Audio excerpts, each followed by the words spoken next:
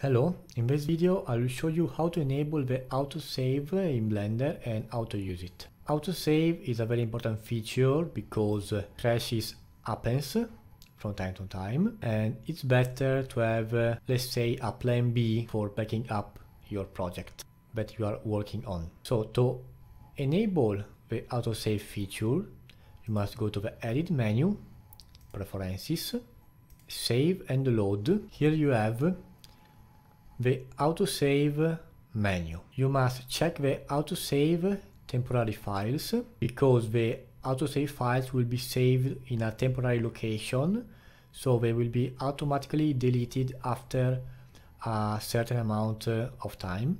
Then you must set the timer. The timer basically means the time to wait between automatic saves.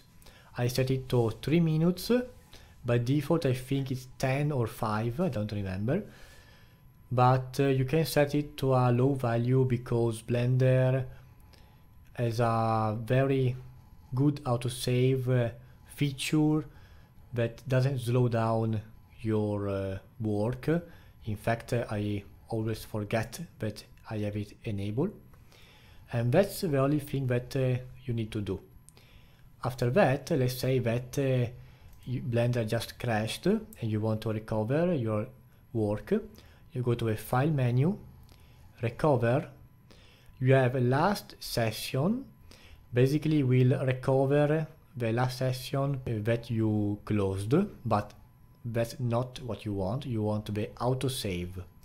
You click on this, it will open up in the temporary location, you can uh, order the list based on the date and then you simply load up the latest autosave by selecting it and recover autosave like for example this. And that's basically it. I hope you enjoyed this video. If that's the case leave a like subscribe to stay up to date with the latest content.